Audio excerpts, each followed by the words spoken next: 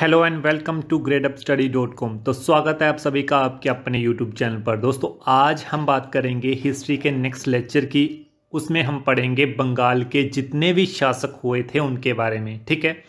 चलिए शुरू करते हैं आज का लेक्चर तो बंगाल का नवाब सबसे पहला कौन था? आपको याद रखना है, मुर्शिद कुली खां, ठीक है? मुर्शिद कुली खां सबसे पहला नवाब था और इसी क्रम से आपको यहाँ तक आठ तक याद रखने होंगे, ठीक है? फिर सुजाउद्दीन, सरफराज खां, अलीवर्दी खां, सुराजुद्दौला, फिर आपका मीर जाफ़र, मीर कासिम, मीर जाफ़र। इसी प्रकार से आपको याद रखना है। छेमा और आठवां बंदा एक ही है, ठीक है? ये भी आपको याद रखना है। नेक्स्ट, आपको क्वेश्चन किस प्रकार से आएगा?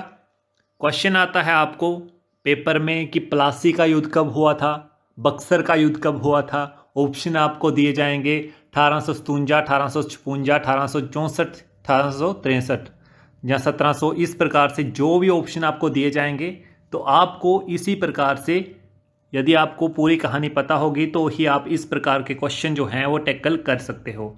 चलिए मूव करते हैं कि कैसे प्लासी का युद्ध सतारह सौ सतुंजा में क्या कारण हो रहा था इसके पीछे, और कैसे कैसे ये युद्ध ने अपना अंतिम अंजाम तक पहुँचा था, ठीक है? दोस्तों, सतारह का युद्ध जो था, प्लासी का युद्ध, इसके पीछे क्या कारण था? इसके पीछे कारण था सराजुद्दौला नवाब जो था बंगाल का, तब इसने एक घटना को अंजाम दिया था, वो घटना था काल कोठरी की त्रासदी मीन्स ब्लैक होल ट्रेजिडी। इसमें क्या हुआ था कि इसने अंग्रेज़ों के विरुद्ध एक त्रासदी करी थी क्या त्रासदी थी वो? इसने अंग्रेज़ों को, टोटल 146 अंग्रेज़ों को एक छोटी सी पूरे बंद कमरे जैसी एक कुटिया में बंद कर दिया था। ठीक है? और इस, जैसे ही इसने रात को अंग्रेज़ों को 146 अंग्रेज़ी व्यक्तियों को बंद करा और जैसे ही सुबह दरवाज़ा खोला तो उसमें सिर्फ़ और सिर्फ़ तेईस बंदे जीवित पाए गए।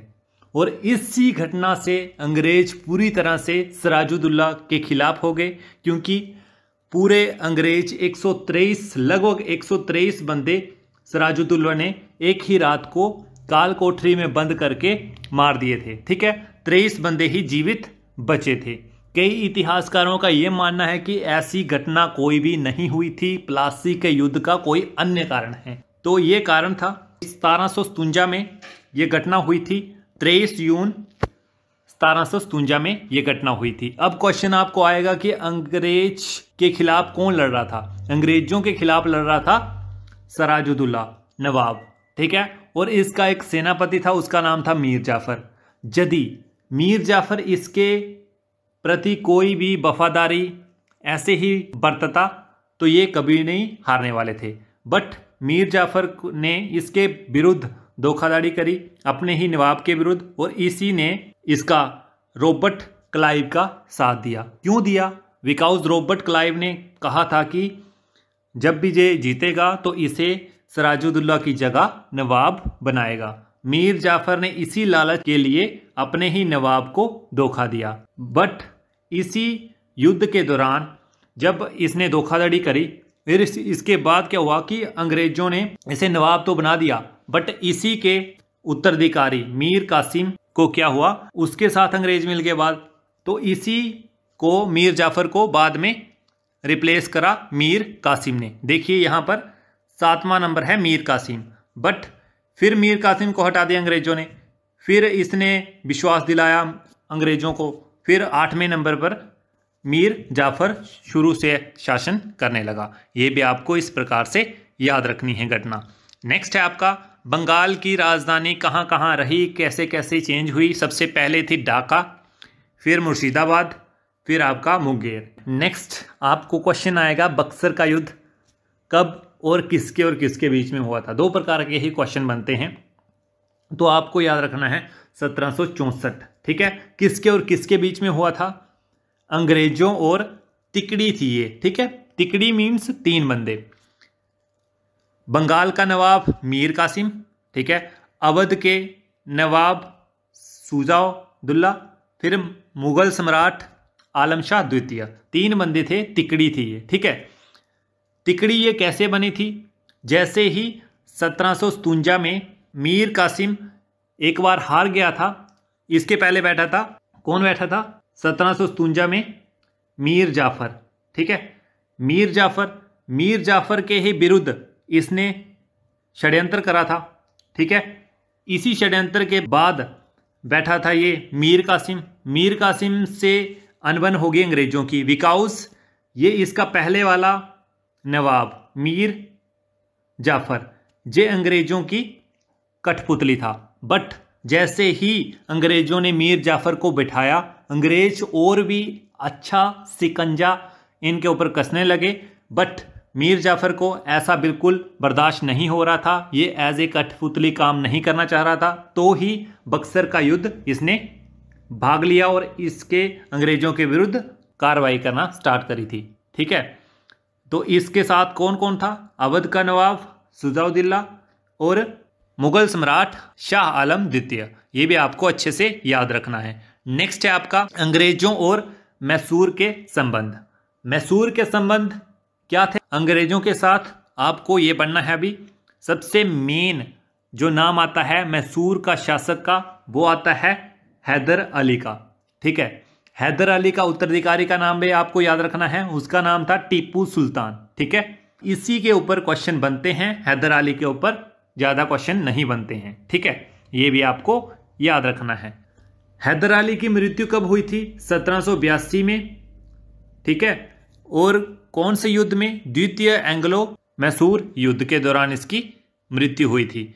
और टीपू सुल्तान के बारे में और एक बात याद रखनी है। इसने अपनी यह राजधानी श्रीरंगपट्टनम में स्वतंत्र वृक्ष लगवाया था और साथ ही ये बंदा जैकोबियन क्लब का सदस्य था। ये भी आपको अच्छे से याद रखना है। और इसी क्रम में आपको डेट्स वाइज याद रखना है और गवर्नर जनरल कौन कौन से थे इनके युद्ध के दौरान, ये भी आपको याद रखना है। प्रथम युद्ध कब हुआ था? प्रथम एंग्ल मैसूर युद्ध कब हुआ था? सत्रह से लेकर सत्रह तक, ठीक है? फिर नेक्स्ट द्वितीय कब हुआ था? 1780 से लेकर सत्रह सौ चौरासी तक, तृतीय कब हुआ था? 1790 से लेकर सत्रह तक नेक्स्ट और लास्ट कब हुआ था? सत्रह सौ निन्यानवे में। ठीक है, ये भी आपको याद रखना है। यहाँ पर इस युद्ध में, द्वितीय एंग्लो मैसूर युद्ध में टीपू सुल्तान के पिता कौन थे? हैदर अली। इनकी मृत्यु हुई थी और लास्ट युद्ध में, चौथे युद्ध में टीपू सुल्तान खुद, इसकी टीपू सुल्तान की मृत्यु हुई थी। ठीक है? दूसरे में इसका पिता मरा था और लास्ट और चौथे युद्ध में ये खुद मर गया था। ठीक है, ये भी आपको याद रखना है। टीपू सुल्तान की मृत्यु श्रीरंगपट्टनम के आखिरी युद्ध, यानी चतुर्थ एंगल मसूर युद्ध के दौरान सत्रह सौ निन्यानवे में हो गई थी। ये भी आपको याद रखना है। और टीपू सुल्तान को शेर मसूर कहा जाता था। ये भी आपको इस प्रकार से याद रखना है। नेक्स्ट, वांडीवाश का युद्ध आपको प्रीवियस लेक्चर में भी पढ़ाया गया था 1760 में। ये युद्ध हुआ था। और ये युद्ध में क्या क्या ट्रीटीज हुई थी, क्या क्या संधियाँ हुई थी, ये भी आपको याद रखना है, और कब कब हुए थे, ये ट्रीटीज ये भी आपको याद रखना है। जो पहला युद्ध था एंग्लो मसूर युद्ध, इसमें ट्रीटी हुई थी मद्रास की संधि। क्वेश्चन आपको इस प्रकार से आएगा कि मद्रास की संधि जो है, वो किस युद्ध में हुई थी? तो आपको टिक लगाना है, पहले ही एंग्लो मसूर युद्ध में हुई थी। द्वितीय में कौन सी हुई थी? मैंगलोर की संधि, तृतीय एंग्लो मैसूर युद्ध में कौन सी हुई थी? श्रीरंगपट्टनम की संधि, ठीक है? नेक्स्ट चलते हैं। हमने पढ़ा, पहले पढ़ा बंगाल के साथ अंग्रेज़ों के संबंध, फिर पढ़ा हमने मैसूर के साथ अंग्रेज़ों के संबंध, अब हम पढ़ेंगे सिख और अंग्रेज़ों के बारे में, ठीक है? सिख धर्म जो भी सिख धर्म था, सिख संप्रदाय की स्थापना का श्रेय किसे जाता है? सिखों के प्रथम गुरु गुरु नानक जी को, ठीक है? इन्हें सिख संप्रदाय की स्थापना का श्रेय जाता है और आपको क्वेश्चन इस प्रकार से भी आ सकता है कि सिखों के प्रथम गुरु का नाम बताओ। आपको ऑप्शन होगा गुरु हर राय, गुरु नानक, गुरु गोविंद। इसी प्रकार से आपको क्वेश्चन का जवाब आपको टिक लगाना है। यदि आपको पता होगा प्रथम गुरु कौन थे? गुरु नानक। जी तो आपको टिक यही लगाना है, ठीक है? पहले गुरु का नाम पता होना चाहिए और लास्ट गुरु का नाम पता होना चाहिए। दो ही गुरु इंपॉर्टेंट है। और नेक्स्ट बात करते हैं, गुरु नानक जी ने गुरु का नंगर नामक निशुल्क सहभागी भोजनालय की स्थापना भी करी थी। ठीक है? नेक्स्ट है बात आती है, गुरु नानक जी सन 1538 में करतारपुर में इनकी मृत्यु हो गई थी, ये भी आपको याद रखना है। और गुरुमुखी लिपि का आरंभ जो है, वो गुरु अंगद जी ने करवाया था, ये भी आपको याद रखना है। नेक्स्ट है, गुरु रामदास ने इसी भूमि पर जो है, वो कौन सी भूमि पर?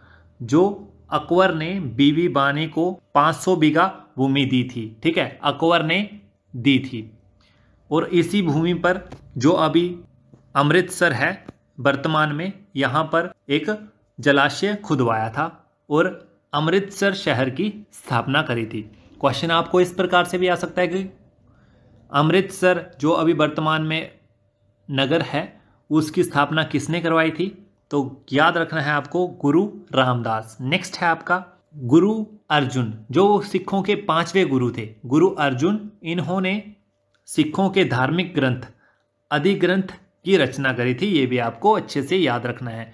पॉइंट आपको वही याद रखना है जो आपको हाईलाइटेड दिख रहे हैं। ठीक है, बाकी कोई भी लाइन याद रखने की ज़रूरत नहीं है। आपको तीन से चार बार यही पढ़ना है और इसी से आपका काम जो है वो चल जाएगा। नेक्स्ट है आपका, गुरु अर्जन ने अमृतसर जलाशय के मध्य हरमंदर साहिब का निर्माण करवाया। ये भी आपको याद रखना है, ठीक है? नेक्स्ट है, राजकुमार खुसरो की सहायता करने के कारण जहांगीर ने 1606 में गुरु अर्जुन को मरवाया था। क्योंकि, क्यों मरवाया था? क्योंकि जहांगीर का सबसे बड़ा बेटा कौन था? खुसरो।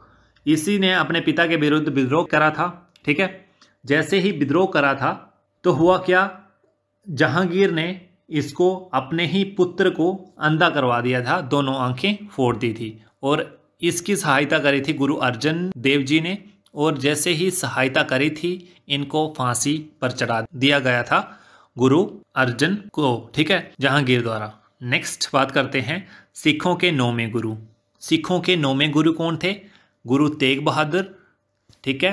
आपको इसी प्रकार से क्रम याद रखना है, पहले कौन थे, दूसरे कौन थे और क्वेश्चन आपको पहले और लास्ट का ज़्यादा पूछा जाता है तो आपको फोकस पहले में करना है और लास्ट में करना है। पहले गुरु कौन थे और लास्ट कौन थे? ठीक है? नेक्स्ट बात करते हैं सिखों के नौवे गुरु गुरु तेग बहादुर। इस्लाम स्वीकार न करने के कारण औरंगज़ेब ने इन्हें वर्तमान शीशगंज में गुरुद्वारा के निकट मरवा दिया था, ठीक है? नेक्स्ट बात करते हैं लास्ट गुरु, दसवें गुरु गुरु गोविंद की, ठीक है? इनका जन्म कहाँ हुआ था? पटना में हुआ था, ठीक है? कब हुआ था? सोलह में हुआ था। नेक्स्ट बात करते हैं नेक्स्ट पॉइंट की, गुरु गोविंद सिंह अपने आप को जो है वो सच्चा बादशाह कहा करते थे, ये भी आपको याद रखना है। और सिखों के लिए पाँच ककार अनिवार्य है, ये भी आपको याद रखना है। कौन कौन से? केश, कंगा कृपान कच्छा और कड़ा। ये सिखों को सिखों को अपने साथ रखने की अनुमति इन्होंने दिलवाई थी। और जो भी सिख होते हैं, सिख लोगों को अपने नाम के पीछे सिंह जोड़ने के लिए इन्होंने ही कहा था। ये भी आपको याद रखना है, ठीक है? लास्ट है पॉइंट सोलह में बैसाखी के दिन गुरु गोविंद सिंह ने खालसा पंथ की स्थापना करी थी। ये भी याद रखना है। क्वेश्चन आपको इस प्रकार से आ सकता है कि खालसा पंथ की स्थापना करने वाले गुरु, सिख गुरु कौन हैं? आपको ऑप्शन होगा गुरु नानक, गुरु अर्जन, गुरु हर गोविंद। आपको इस प्रकार से आ सकते हैं। तो आपको टिकल गाना है गुरु गोविंद सिंह, ठीक है? आज की वीडियो का लास्ट का क्वेश्चन है। आज की वीडियो में आपको बताना है कि सिखों के पहले गुरु का क्या नाम है? सिखों के लास्ट गुरु का क्या नाम है? अभी अभी हमने इस वीडियो में डिस्कस किया।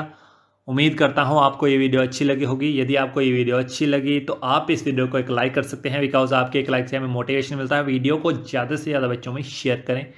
इस वीडियो में बस इतना ही।